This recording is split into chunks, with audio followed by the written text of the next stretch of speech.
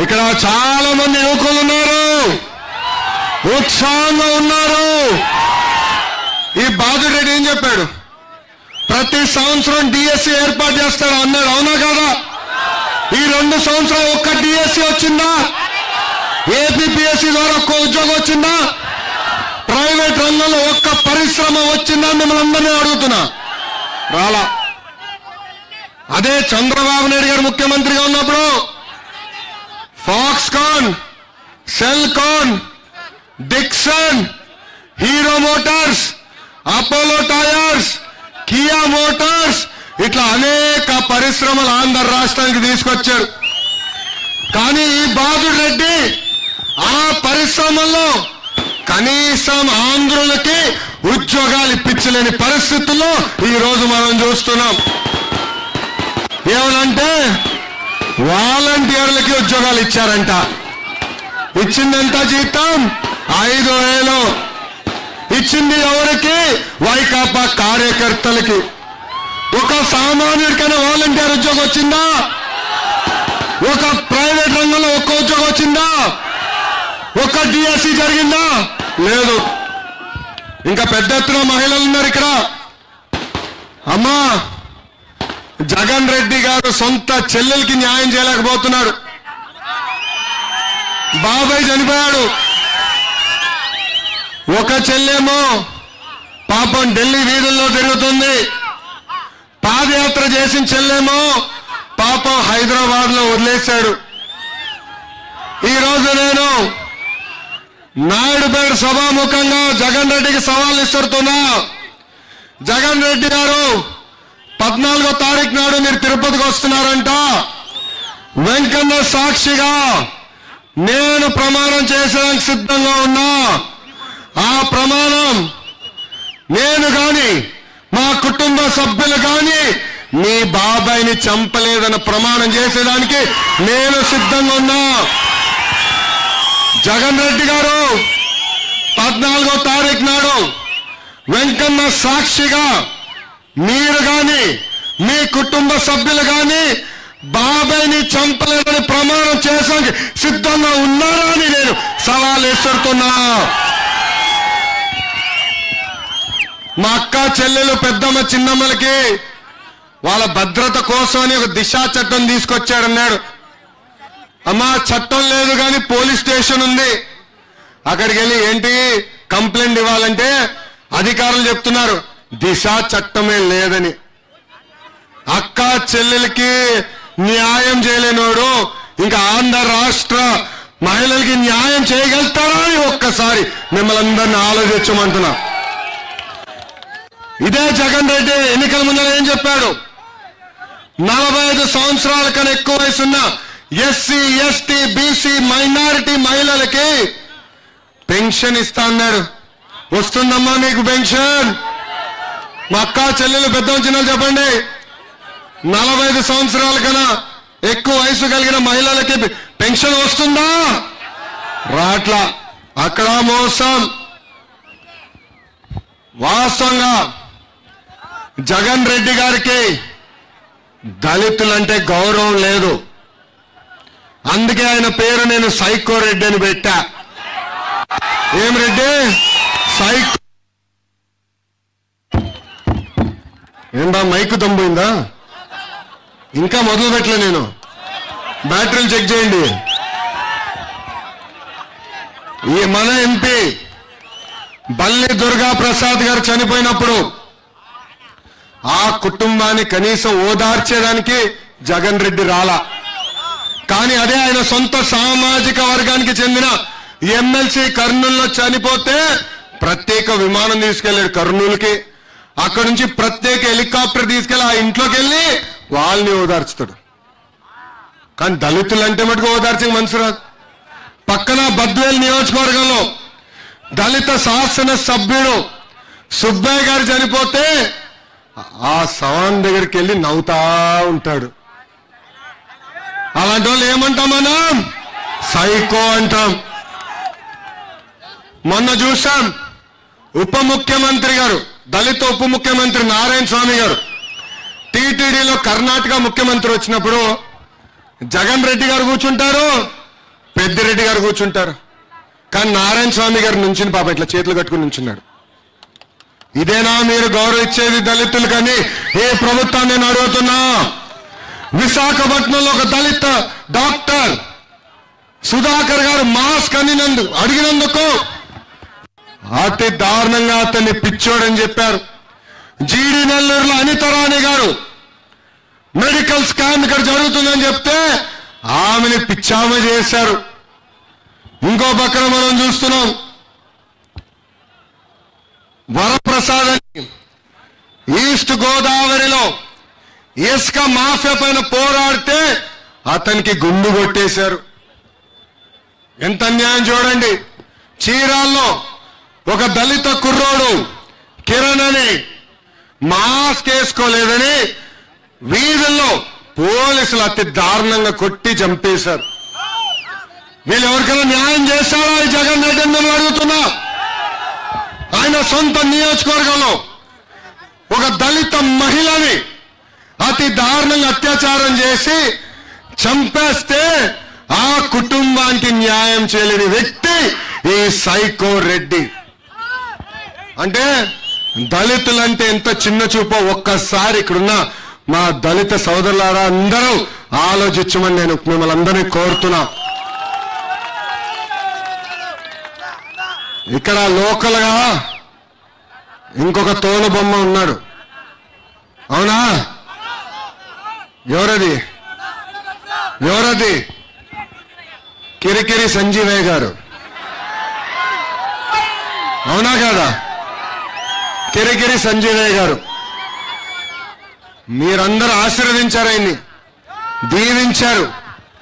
అరవై ఐదు వేల ఓట్లతో గెలిపించారు.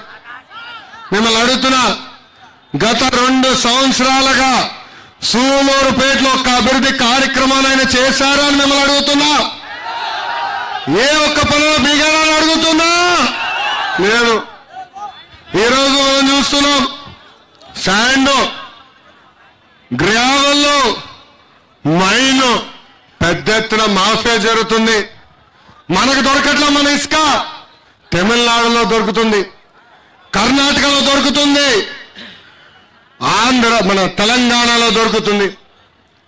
అదేవిధంగా చంద్రబాబు నాయుడు గారు ముఖ్యమంత్రిగా ఉన్నప్పుడు తాగునీతి పథకం కేటాయించారు. నేను ఈరోజు నాయుడుపేటకు వస్తుంటే దారి పొడుగున మన పైపులు చూశాం. అవునా కాదా? ఆనాడు పెట్టిన పైపులు ఇప్పటికి పని ప్రారంభించా. ఎందుకు? ఎందుకు? కిరికిరి సంజయ్ గారు కమిషన్ అడిగారు. కమిషన్ అడిగారు కనుకనే పనులు జరగట్లేదు. ఇదే చాలా బాధేస్తుంది. రెండు వేల పద్నాలుగులో తెలుగుదేశం పార్టీ ఇక్కడ గెలవపోయినా నూట తొంభై కోట్ల రూపాయలు కేటాయించి తొంభై శాతం సీసీ రోడ్లు పూర్తి చేసిన ఘనత ఒక తెలుగుదేశం పార్టీది.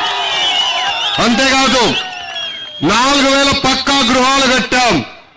ఎన్టీఆర్ గృహాలు కనీసం ఆ గృహాలు ఇచ్చే పరిస్థితిలో ఈ కిరికిరి సంజీవయ్య గారు లేరు. ఇప్పుడు ఈ కిరికిరి సంజీవయ్య గారు అధికారుల్ని ట్రాన్స్ఫర్ చేయాలంటే రేట్ చార్ట్ పెట్టారు. ఎస్ఐ గారిని ట్రాన్స్ఫర్ చేయాలంటే ఇంతంట. సిఐ గారిని ట్రాన్స్ఫర్ చేయాలంటే ఇంతంట. విఆర్ఓ గారిని ట్రాన్స్ఫర్ చేయాలంటే ఇంతంట. ఈయన కిరికిరి సంజయ్ గారి గొప్పతనం ఏంటంటే ఏకంగా కరోనాని కూడా క్యాష్ కింద వాడుకున్నారు. పక్కన ఒక ఎస్సీజెడ్ ఉంది. జగన్ రెడ్డికి నేను డబ్బులు ఇవ్వాలని ఈయన డబ్బులు లాగేశాడు అసలే కరోనాతో పరిశ్రమలు కష్టాల్లో ఉంటే ఈయన వసూలు. ఇక్కడున్న కుర్రోళ్ళందరూ ఆలోచించాలా? యువతి యువకులందరూ ఆలోచించాలా? ఒక పరిశ్రమ రావట్లేదు. పంచాయతీల్లో నీకు సీట్లు రాలేదు. మండలాల ఎన్నికలను జిల్లా పరిషత్ ఎన్నికలను పోటీ చేయడానికే భయపడి పారిపోయిన చంద్రబాబు నాయుడు గారు ఇవాళ తిరుపతిలో చాలా గొప్ప ఉపన్యాసాలు చెప్పి ఏదేదో చేయాలనేటువంటి ప్రయత్నం తన కేడర్ని నమ్మించాలనేటువంటి ప్రయత్నం చేస్తున్నాడు. ఒక సుదీర్ఘమైన ఉపన్యాసం చెప్తున్నాడు మనం చూసా అంతా అయిపోయిందా? తమ్ముళ్ళు నేను చెప్పిందంతా విన్నారా? వింటున్నారా? అందరికీ చెబుతారా? అనుమానం. వింటున్నారో వినలేదో? అందరికీ చెబుతారో చెప్పరో? అనుమానం ఆయనకే. నా కంఠశోషేనా ఇంకేమైనా ఉందా? నీ కంఠశోషే నీ వెంట ఎవరు రారు. ఎన్నికల రిజల్ట్ చూసిన తర్వాత నువ్వు పలాయనం చిత్తగించవలసినటువంటి పరిస్థితే నీకు వస్తుంది దీనిలో ఏ విధమైన సందేహము లేదు రాసి పెట్టుకోమని కూడా ఈ సందర్భంగా నేను చెప్పదలుచుకున్నాను. చాలా స్పష్టంగా. కుప్పంలోనే నీకు దిక్కు లేదు. అసలు చంద్రబాబు నాయుడు గారు ఎన్నిసార్లు ఎన్నికలు జరిగినా చిత్తూరు జిల్లాల్లోనే నిన్ను చిత్తు చిత్తుగా ఓడిస్తున్నటువంటి సందర్భాలు. ఎందుకంటే చిత్తూరు జిల్లాలో నీ మొత్తం చరిత్ర తెలిసినటువంటి వ్యక్తులే ఉన్నారు కాబట్టి. నీ రాజకీయం తెలిసినటువంటి వ్యక్తులే ఉన్నారు కాబట్టి. చిత్తూరు జిల్లాలోను తిరుపతిలోను ఎప్పుడు నీకు ఓటమే. అక్కడక్కడక్కడక్కడ గెలుస్తూ వచ్చావు తప్ప.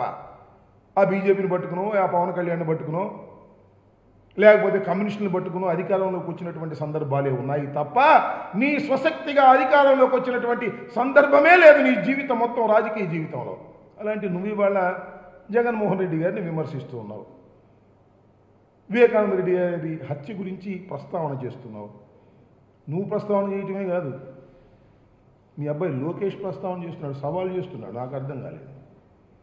ఆయన ఎవరు? పవన్ కళ్యాణ్ గారు. ఆయన మాట్లాడుతున్నాడు. బీజేపీ వారు మాట్లాడుతున్నారు. అయ్యా నేను అడుగుతా ఉన్నా.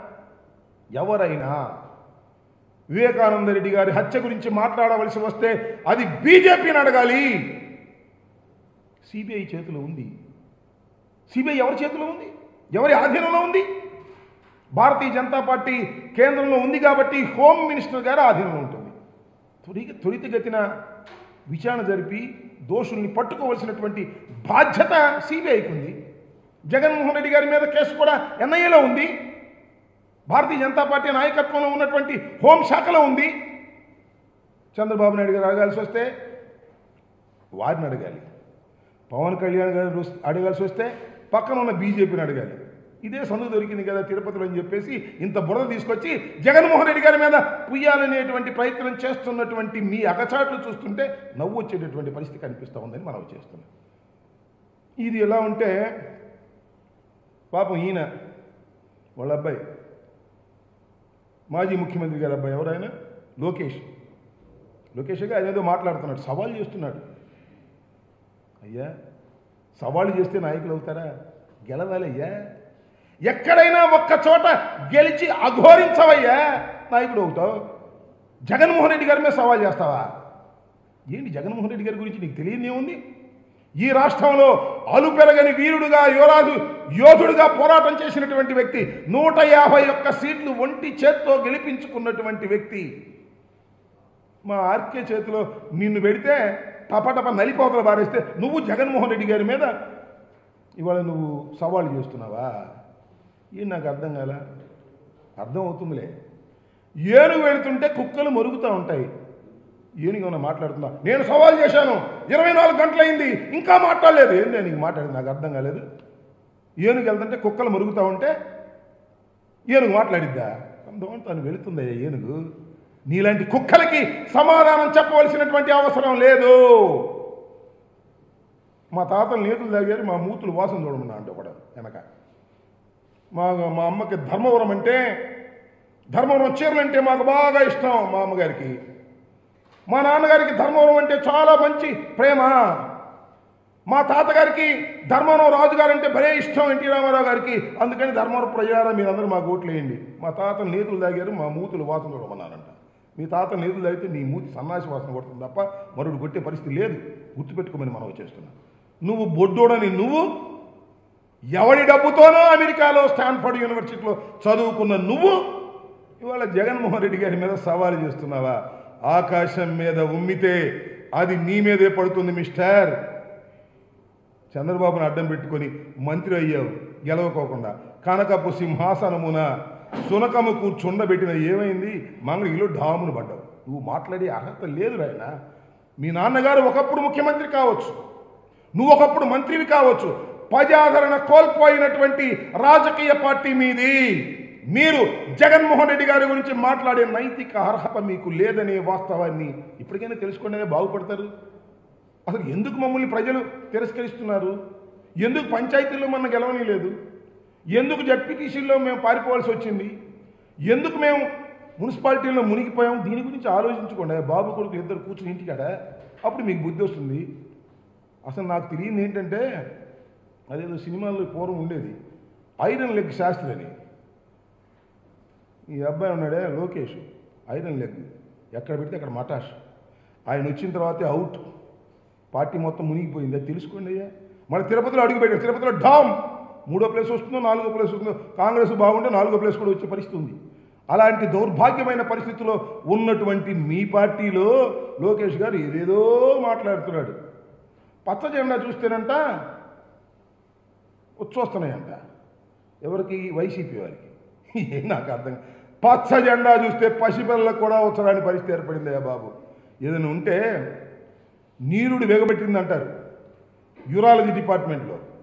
వాళ్ళ దగ్గర తీసుకెళ్ళండి పచ్చ జెండా తీసుకెళ్ళి వాళ్ళకి ఏమైనా పడతాయేమో. పచ్చ జెండా పుచ్చిపోయింది. పచ్చ జెండాని పట్టుకుంటానికి కార్యకర్త లేనటువంటి దౌర్భాగ్యమైన పరిస్థితి రాష్ట్రంలో ఏర్పడింది. అందుకనే మొన్న జరిగినటువంటి ఈ మండలాల ఎలక్షన్లో పోటీనే చేయలేదే. చేయను అన్నారే మీరు చేయను అన్నా కూడా కొంతమంది చేస్తానని మిమ్మల్ని తిరగబడి పోటీ చేశారే. సరే ఓడతారు గెలుస్తారు అక్కడక్కడ? మీ మాటను మీ పార్టీ నాయకులే వినేటటువంటి పరిస్థితి లేనటువంటి దౌర్భాగ్యమైన పరిస్థితిలో ఇవాళ మీ పార్టీ నెట్టబడితే మేము తిరుపతిలో ఏదో భాగాలు చేస్తాం తిరుపతిలో మేము ఏదో చేస్తాం. జగన్మోహన్ రెడ్డి గారి మీద విమర్శలు చేస్తాం. జగన్మోహన్ రెడ్డి గారి ఎడమ కాలి చిటికన గోరుతో సమానం ఆయన నువ్వు అర్థం చేసుకోమని మనం చేస్తున్నాం